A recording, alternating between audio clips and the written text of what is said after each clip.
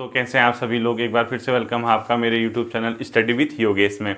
हम लोग हिंदी का सेशन देख रहे हैं और हिंदी के सेशन में बहुत जल्दी आपकी हिंदी में कंप्लीट करने जा रहा हूँ। तो आज भी हमारे दो टॉपिक कंप्लीट हो जाएँगे जो आपके सिलेबस में प्रॉपरली दिए हैं।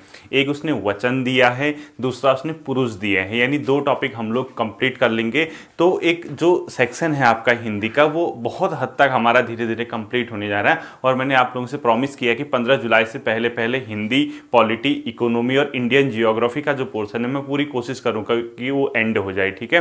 तो हम लोग इसकी शुरुआत करते हैं और इससे क्वेश्चन क्या पूछेगा, मैं आपको वैसे ही बता दूँगा कि कहाँ कहाँ पे आपको इसको फोकस करना है, ठीक है? तो हेडिंग डाल लीजिए वचन। क्या डालोगे? सीधे सीधे हेडिंग वचन। अब देखिए, वचन होता क्या है? सबसे पहले हम लोग ने ये देखना है, ठीक है? इसकी डेफिनेशन जहाँ तक इसकी बात आती है तो शब्द का एक रूप होगा, यानी कोई वर्ड होगा, उसका एक रूप होगा, उससे आपको ये पता चल जाएगा कि वो एक है या अनेक है। यानी वो सिंगल है या मल्टीपल है। यानी वो सिंगल यानी एक या मल्टीपल अनेक। यानी उस जिस शब्द के जिस रूप से आप लोगों को ये पता चल जाता है कि वो एक ही की बात कर रहा है या बहुत सी चीज़ों की बात कर रहा है, वो उसका क्या कहलाता है? वचन कहलाता है। तो सीधे सीधे आपने डेफिनेशन लिखनी है, शब्द के जिस रूप से एक अथवा अनेक एक का बोध होता है, ठीक है? सीधे सीधे लिखना, शब्द के जिस रूप से, एक अथवा अनेक का बोध होता है, शब्द के जिस रूप से, शब्द के जिस रूप से एक अथवा अनेक का बोध होता है, ठीक है? यानी एक अथवा, सब समझा दूँगा, ठीक है? अथवा अनेक का बोध हो, यानी वो कि सिंगल है या बहुत ज़्यादा हैं, वो उसका क्या कहलाता है? वचन कहलाता है, ठीक है? यानी आपको एक के नीचे हाईलाइट करना है और अनेक के। तो शब्द के जिस रूप से एक अथवा अनेक का बोध हो, वो उसका क्या कहलाता है? वचन कहलाता है। सिंपल सी बात है, ठीक है? यानी शब्द के जिस रूप से एक अथवा अनेक का बोध हो, वो उसका क्या कहलाता है? वचन कहलाता है। अब देखना सिंपल सी बात एग्ज़ाम्पल क्या होगा? अब मैंने कोई शब्द लिखा, अब मैंने लिखा है लड़का। क्या बोध हुआ आपको? क्या पता चला? वो सिंगल किसी एक लड़की की बात कर रहा है, बहुत से आप सीधे सीधे बताएँगे कि, सर, ये सिंगल लड़के की बात कर रहा है। तो आपको ये पता चल गया, लड़का कहते कि, किसी एक लड़के की बात कर रहा है तो इसका वचन हो गया, आपको पता चल गया कि एक लड़के की ये बात कर रहा जैसे अगर मैं लड़के लिखूं, अगला एग्ज़ाम्पल क्या लिखा मैंने? लड़के लिख दिया। तो आपको ये सीधे समझ आ गया होगा कि एक नहीं, बहुत से लड़कों की बात कर रहा है, ठीक है? यानी इसमें मल्टी बॉयज़ हैं, यानी एक से अधिक इसमें क्या है? लड़के हैं। तो आप सीधे सीधे समझ जाइए, लड़का लिखा लिखा और लड़के लिख दिया, दोनों में क्या हो गया? डिफरेंस हो गया, ठीक है?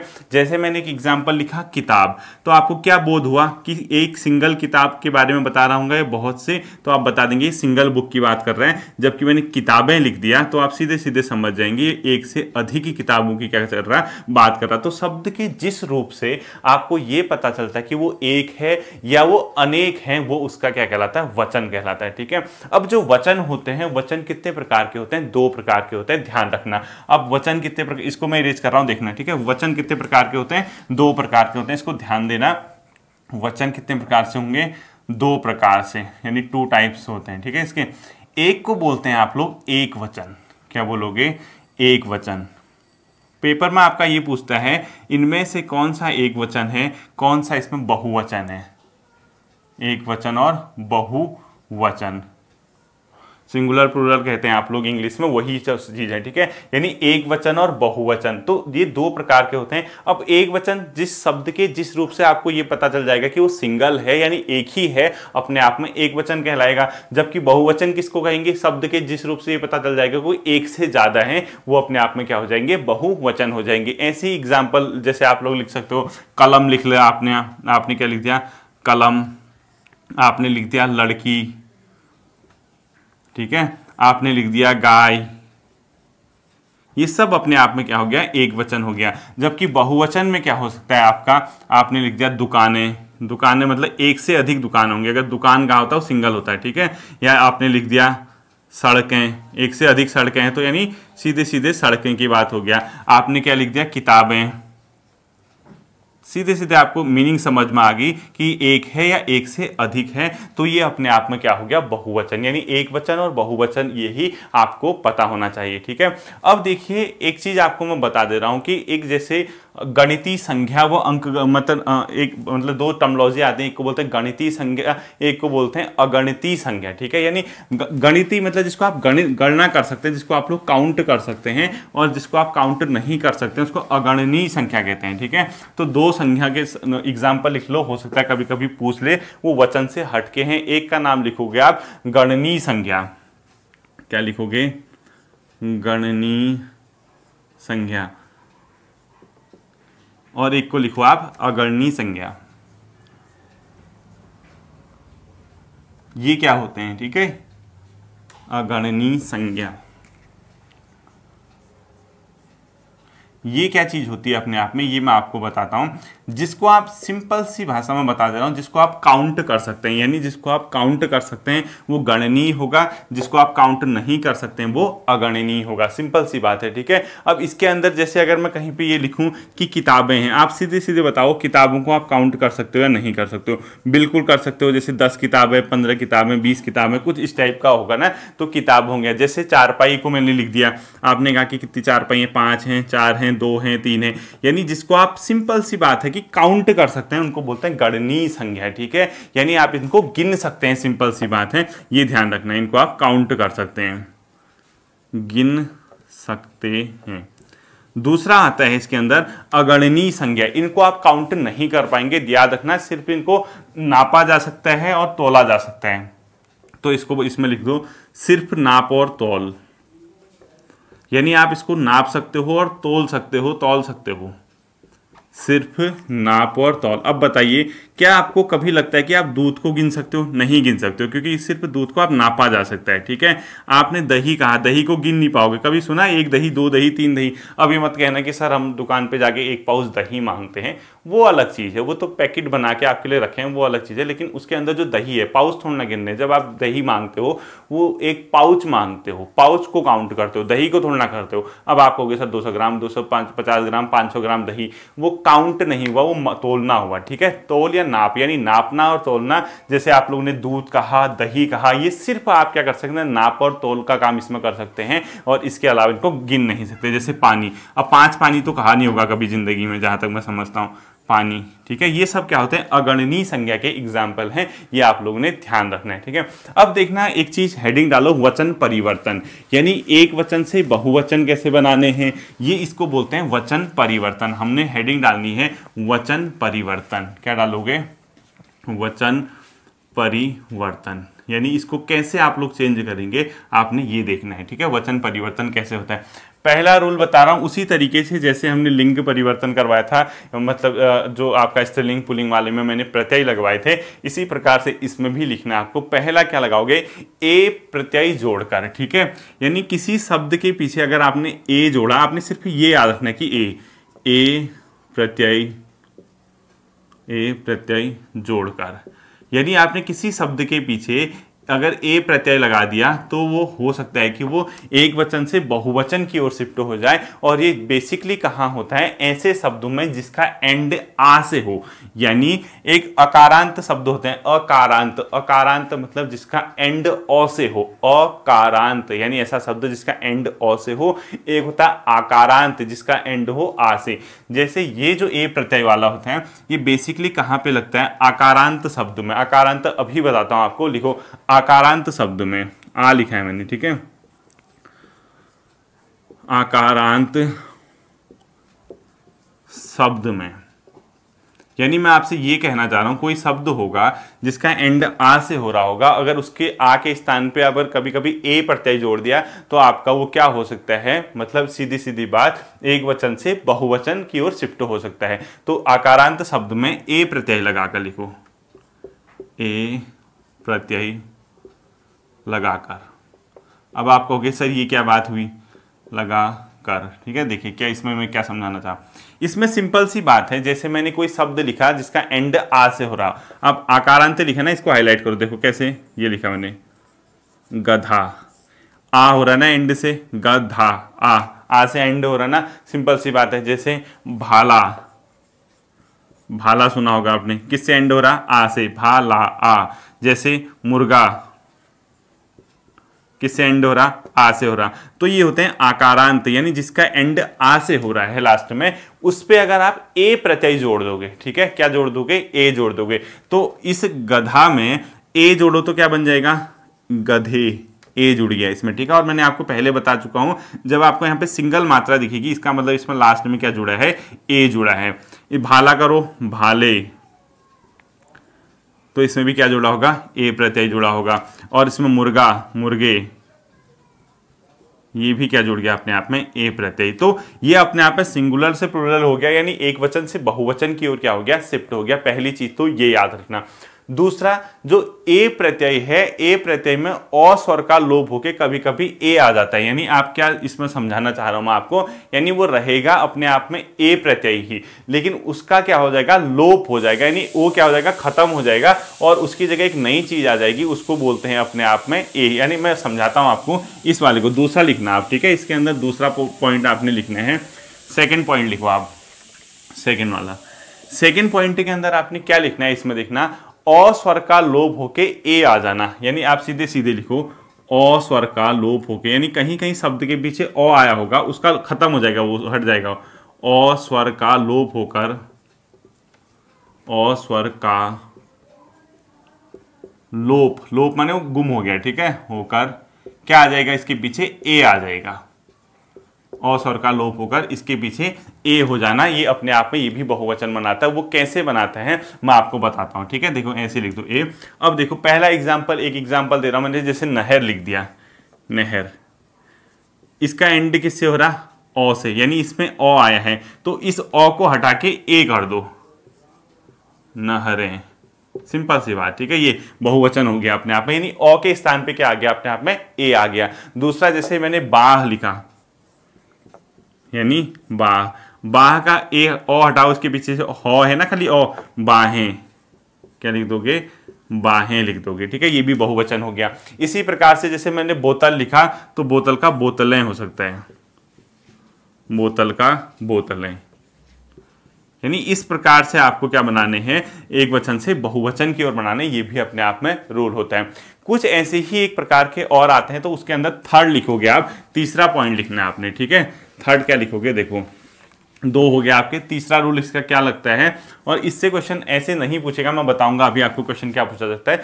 तीसरा जो आता है, जो अकारांत होते हैं, यानी जिसका एंड आ से हो रहा या कोई उकारांत हो रहा है, जिसका एंड ऊ से हो रहा बड़ा ऊ जिस शब्द के पीछे लगा होगा, या किसी के पीछे औकारांत से हो रहा है, यानी उसके पीछे अ की मात्रा लगी होगी, ठीक है?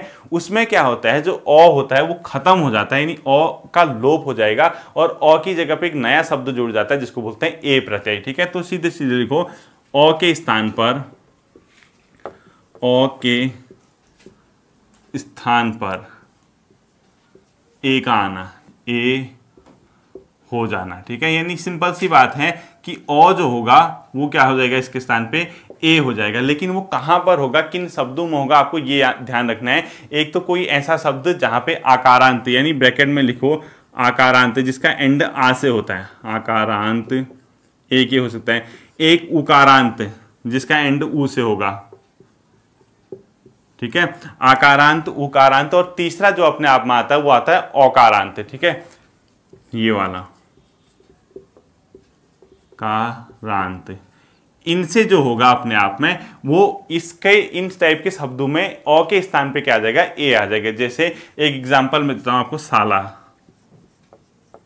तो साला, और आ से इंड रहा तो क्या आ जाएगा? सालाएँ। लाएँ, ठीक है? यानी अ के स्थान पर अपने आप में सीधे सीधे क्या आ गया? सालाएँ आ गया, ठीक है? ये ध्यान रखना, सालाएँ। इसी प्रकार से एक और चीज़ अपने आप में आती है, जैसे दवा लिखा, दवाएँ हो सकता है। दवा लिखा तो इसका भी क्या हो सकता है? दवाएँ। इस प्रकार से, ठीक है? तो इसमें ज़्यादा टेंशन लेने की ज़रूरत नहीं है आप लोगों को। आप इतना ध्यान रखना कि आ ओ के स्थान पे ए वगैरह भी कभी कभी हो सकता है। और लास्ट जो आता है, ये अभी भी बता रहा हूँ, ये उतना इंपॉर्टेंट नहीं होगा जो मैं पढ़ा रहा हूँ। जो अब मैं पढ़ाऊँगा, कौन से एक वचन है, कौन से बहुवचन है, उसको आप लोगों ने ध्यान रखना है, ठीक है? फोर्थ है आपने, ठीक है? नेक्स्ट रूल लिखना है आपने फोर्थ इसमें क्या होता है? देखो, सिंपल सी बात है, जिसे आपने आ प्रत्यय सुना होगा, यानी आपके आ है, ये लगा, ठीक है? आ प्रत्यय में, आ प्रत्यय से लिखो। आ प्रत्यय से। इसमें क्या होता है? मैं बता रहा हूँ, आपको दो चीज़ें होती हैं। इसके अंदर कभी कभी ऐसे शब्द आते हैं, जिसका एंड ई से होता है, यानी बड़ी ई जिसको आप लोग बोलते हैं, यानी इकारांत शब्द में। इकारांत शब्द में, यानी जिसका एंड किससे हो रहा है? आपका ई से हो रहा है, ठीक है? इकारांत शब्द में। इस शब्द में क्या होगा? जो इकारांत शब्द है, उसमें आ प्रत्यय से ई का परिवर्तन ई में हो जाएगा, ठीक है? तो इकारांत शब्द में, लिखो, आ प्रत्यय से,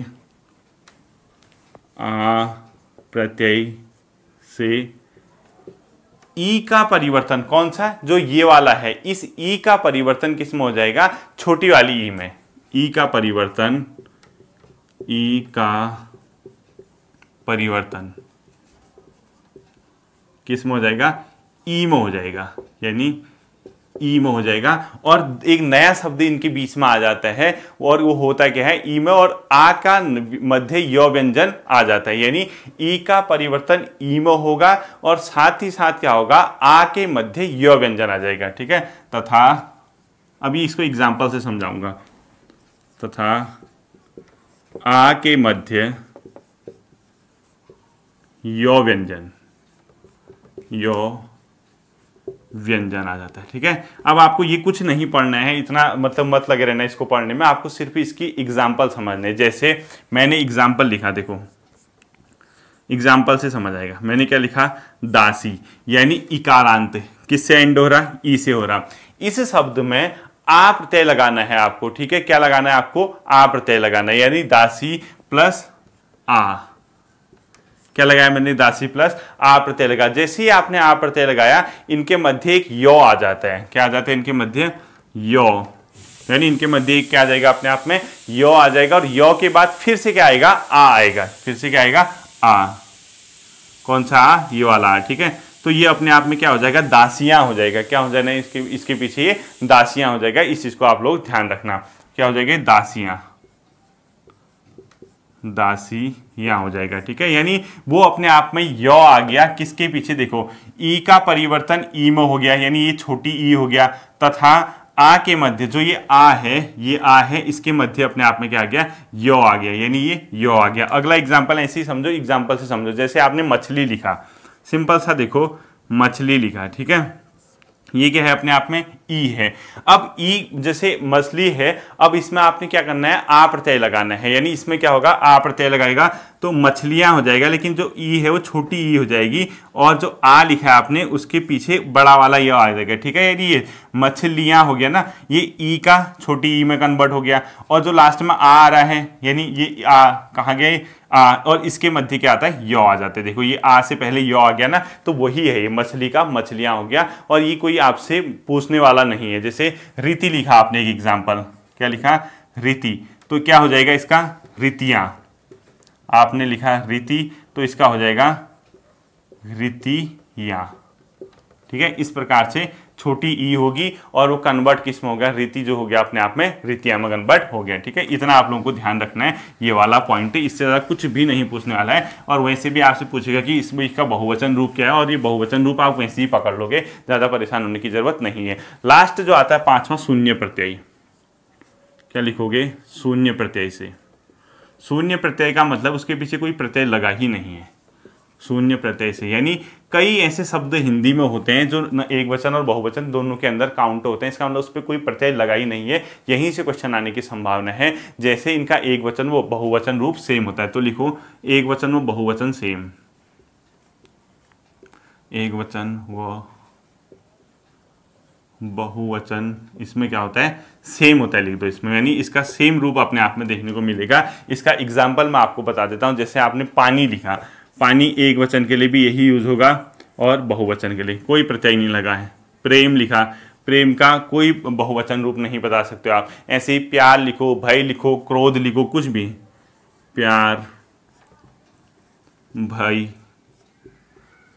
क्रोध, ठीक है? तो क्वेश्चन क्या पूछा जा सकता है? इनमें से किस एक वचन या मतलब बहुवचन शब्द में शून्य प्रत्यय का प्रयोग किया गया है? तो इसी का, यानी आप समझ जाना कि इनका बहुवचन रूप कुछ भी नहीं है। तो आप सिंपल से कैसे इसको पकड़ोगे एग्ज़ाम में? जैसे आपको शब्द दिए होंगे और पूछेगा कि इसमें से किसका बहुवचन रूप या मतलब किसमें ज़ीरो प्रत्यय लगा है?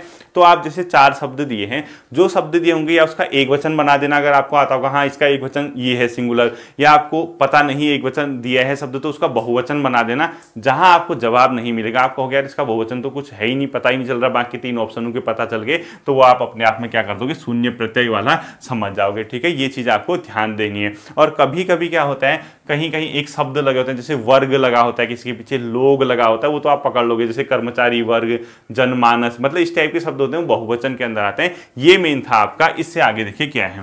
इंपोर्टेंट चीज़ मैं बताता हूँ आपको कुछ ऐसे शब्द होते हैं जो हमेशा किसी भी केस में अपने आप में बहुवचन होते हैं, ठीक है? तो ऐसे ही क्वेश्चन यहाँ से पूछा जाता है, जो यहाँ से इंपॉर्टेंट क्वेश्चन यही आएगा।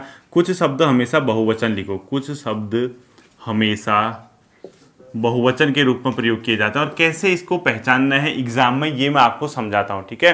यानी कुछ शब्द हमेशा बहुवचन। और पेपर में क्या पूछेगा आपसे कि इनमें से कौन सा एक बहुवचन है, कौन सा एक वचन है? देखो जैसे मैंने आपको लिंग वाले चैप्टर में समझाया था कि उस शब्द से शुरू करके सेंटेंस बना दो, आपके खुद समझ में आ जाएगा। ऐसा ही यहाँ पे भी करना है। देखो कैसे पकड़ना है। जैसे एक एग्ज़ाम्पल लिखता हूँ मैं, आँसू, ठीक है? ये हमेशा बहुवचन होता है, याद रखना। और क्वेश्चन पूछेगा, कौन सा एक अपने आप में एक वचन है, कौन सा बहुवचन है? तो याद रखना, आँसू जो शब्द होते हैं वो क्या होते हैं अपने आप में बहुवचन। अब देखो सेंटेंस बनाओ। क्या कहते हो? आँसू निकल गया तो नहीं कहते हो? आँसू निकल गए। यानी आप निकल गए। तो कैसे यूज़ कर रहे हो? एक बहुवचन की तरह कर रहे हो ना? अगर आप आँसू निकल गया अगर सही मानते हो, तब तो एक वचन की तरह प्रयोग हो रहा है। लेकिन हिंदी में वाक्य क्या बोला जाता है? आँसू निकल गए। यानी सेंटेंस बनाना है, ठीक है? तो ये याद रखना आपको आँसू। इसके अलावा केस केस मतलब बालों के लिए यहाँ पे यूज़ हो रहा है, ठीक है? ये भी बहुवचन होता है। केस बिखर गए। केस गिर गए यानी केस कैसे सेंटेंस के रूप में बोल रहे उसको? बहुवचन। ऐसे ही सेंटेंस बना देना है अपने आप में ठीक? अगला लिखो आप समाचार। समाचार ठीक है? समाचार सुन लिए। समाचार सुन लिया तो नहीं कहते ना समाचार सुन लिए। समाचार पढ़ लिए ठीक है? ऐसे इस प्रकार से आप लोग इसको, इसको यूज़ करते हो। दर्शन। दर्शन हो गए। ये, दर्शन हो गया तो नहीं कहते हो कभी? दर्शन हो गए, यानी बहुवचन की तरह आप इसको प्रयोग कर रहे हो, यानी दर्शन हो गए, ठीक है? अगला जैसे मैंने लिखा, प्राण। प्राण निकल गए। ये कैसे यूज़ कर रहे हो आप इसको? बहुवचन की तरह कर रहे हो। प्राण निकल गया तो नहीं कहते, प्राण निकल गए कहते हो। ऐसी हस्ताक्षर कर लिए। अब ये मत सोचना, हस्ताक्षर यार सिंगल ही होगा, ये तो एक वचन होगा, ध्यान रखना। हस्ताक्षर कर लिए। ऐसे ही बोला जाता है हस्ताक्षर कर लिया नहीं बोलोगे, ठीक है? बाल गिर गए। यानी ये भी अपने आप में क्या लिखोगे, किस रूप में? बहुवचन के रूप में इसका प्रयोग किया जाता है। इसी के साथ अपने आप में लोग आ गए। लोग लोग भी बहुवचन होता है, ठीक है? लोग आ गए। प्रजा जाग गई।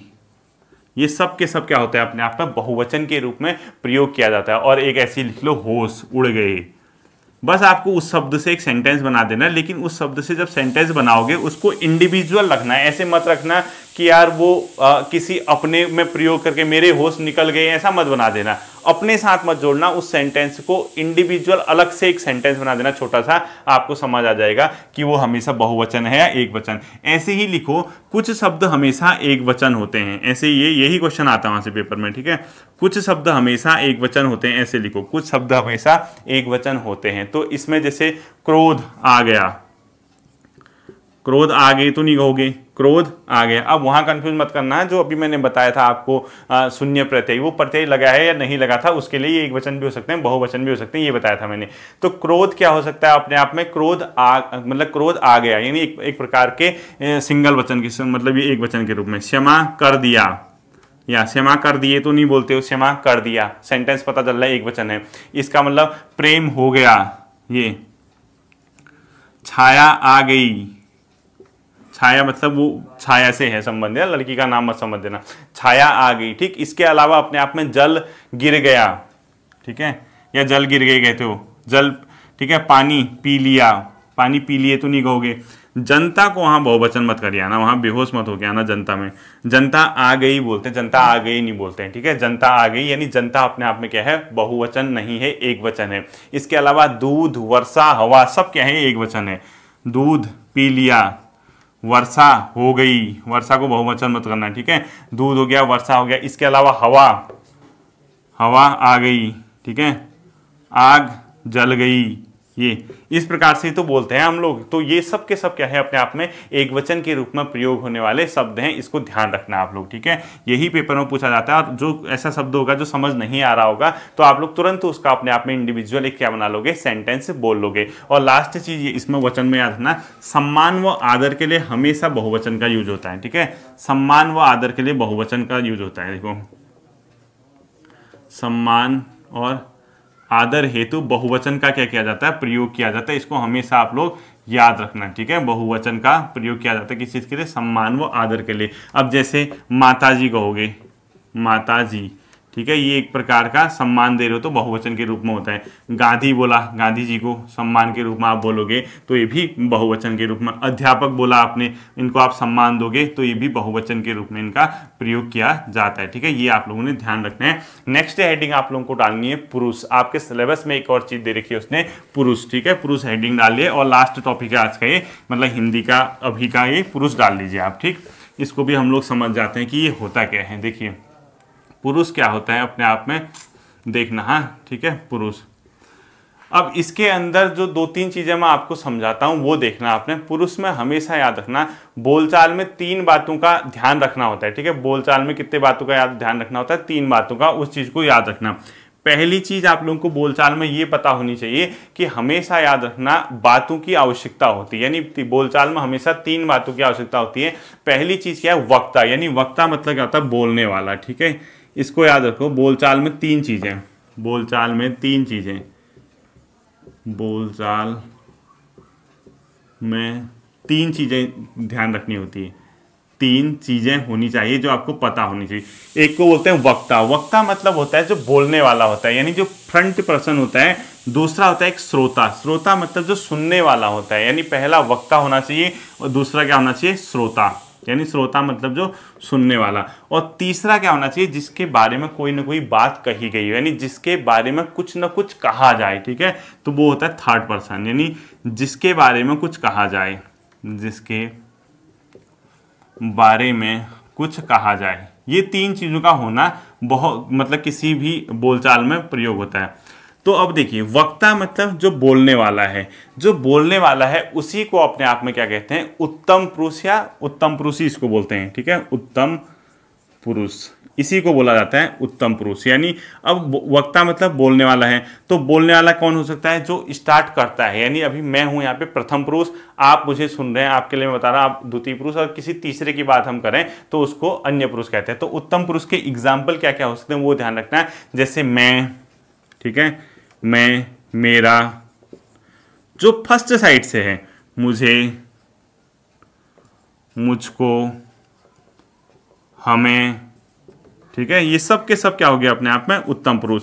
हमको, हमारा इस टाइप के जो शब्द होंगे, सब के सब क्या होंगे अपने आप में? उत्तम पुरुष के एग्ज़ाम्पल होगा, ठीक है? तो ईटीसी कर दो इसको। ये हो गया अपने आप में उत्तम पुरुष। यानी जो वक्ता होता है, जो बोलने वाला होता है फ़र्स्ट साइड जिससे बात चल रही होगी, जो उसके सामने होगा, उसको बोलते हैं श्रोता। यानी जो सुन रहा होगा, उसको बोलते हैं श्रोता। और इसी को बोलते हैं अपने आप में मध्यम पुरुष। इसको क्या बोलते हैं? मध्यम पुरुष।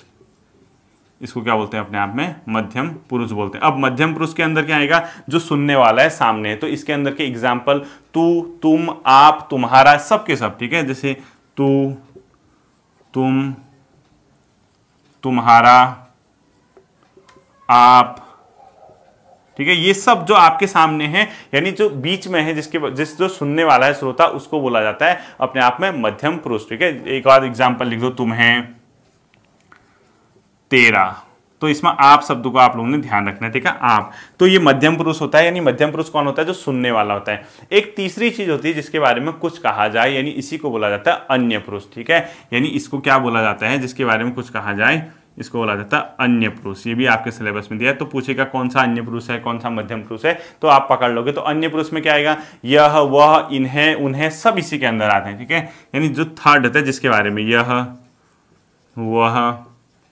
इन्हें, उन्हें, उसको। ठीक है, ये सब के सब क्या आएगा? आपका भी आएगा। एक आपका के नीचे हाईलाइट कर दो। आपका शब्द अन्य पुरुष में आता है। ठीक है, कहीं पूछने दे, आपका कौन सा अन्य पुरुष है? आपका, आप इस टाइप से देखे, आपका, या वे, इसने, सब इसी के अंदर आएँगे। एक और लिख दो, वे और इसने। इस टाइप के जो शब्द है। तो सिंपल सी बात है, आपको वक्ता, यानी फ़र्स्ट साइड जो बोलने वाला उसको उत्तम पुरुष बोलते हैं। श्रोता, जो जिसके बारे में कुछ बोला जाता है, मध्यम पुरुष, जिसके मतलब जो सुनता है, और जिसके बारे में कुछ कहा जाता है, उसको बोलते हैं अपने आप में थर्ड अन्य पुरुष, ठीक है? इसको बोला जाता है अन्य पुरुष। ये तीन प्रकार के हिंदी में पुरुषों का क्या किया जाता है? प्रयोग किया जाता है। उम्मीद करता हूँ ये आपको पूरा सेशन समझ आ गया होगा। आप इसको रिवाइज करना। बहुत छोटा सा, बहुत हल्का सा चैप्टर है। आप इसको तैयार कर लेना। फिर मिलता हूँ आप लोगों के साथ अगले सेशन में। ध्यान रखिए। Thank you